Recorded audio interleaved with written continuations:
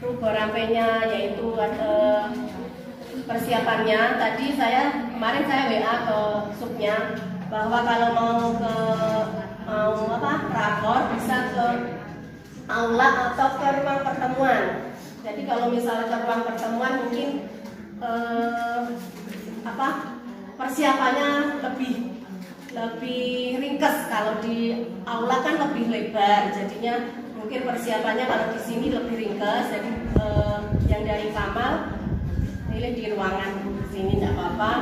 Eh, tapi kalau misalnya mau ke ruang aula juga tidak apa-apa besok ke aula juga tidak apa-apa. Dekorasi untuk tadi mas apa mas kafe ya. Itu kalau